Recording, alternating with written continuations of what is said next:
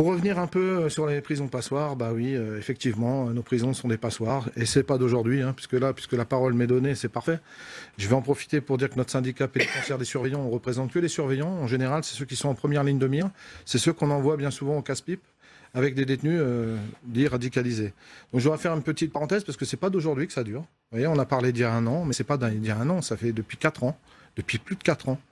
Notre syndicat n'arrête pas de dénoncer que la montée de la, puissance des, réseaux radicalistes, radicalisés pardon, en prison, euh, les détenus se violentent de plus en plus. C'est-à-dire que là, euh, on revient par exemple sur l'année dernière, il y a des événements graves où il y a eu un mouvement euh, solidaire d'une centaine d'établissements qui ont bloqué les accès aux établissements.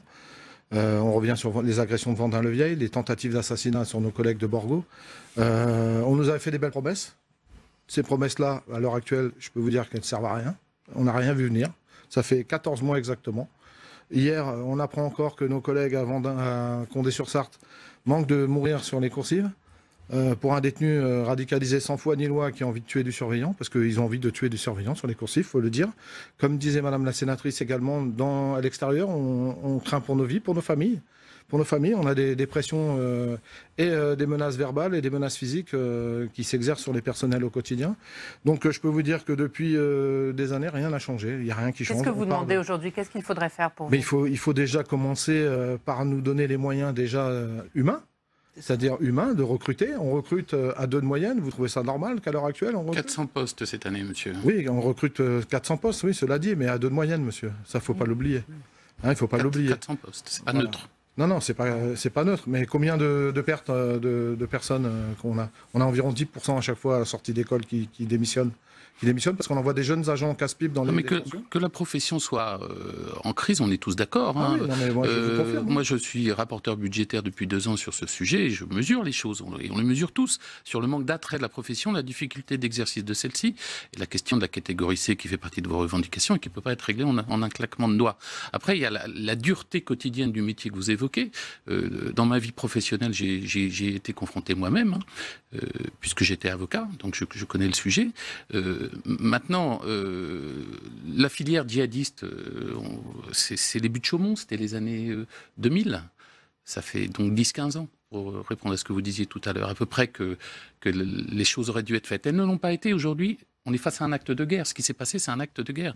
Un acte terroriste, c'est rien d'autre qu'un acte de guerre.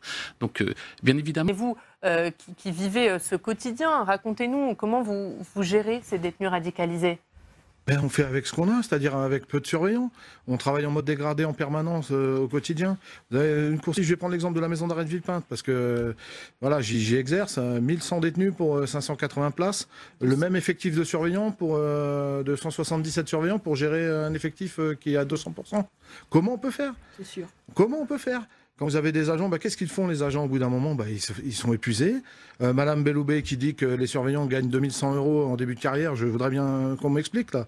À moins de faire une centaine d'heures supplémentaires, euh, c'est complètement hallucinant. Quoi. Je veux dire, faut arrêter.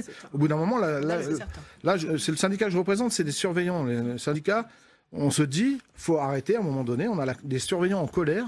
Les surveillants sont plus qu'en colère parce qu'on nous écoute pas. Des solutions, on en a. On en a proposé. Je vous dis, ça fait plus de 4 ans qu'on en propose. Bruno Kettel, je vais peut-être vous laisser répondre. Hein. Vous représentez la, majorité présidentielle sur, sur ce plateau. Qu'est-ce que vous dites quand vous entendez Philippe Kuhn Le gouvernement ne nous écoute pas? C'est pas vrai. Ah, Heureusement que vous êtes centriste, hein, parce que parfois j'ai plutôt l'impression d'avoir quelqu'un du Rassemblement national face à moi. C'est le Front national qui tient ce genre de discours.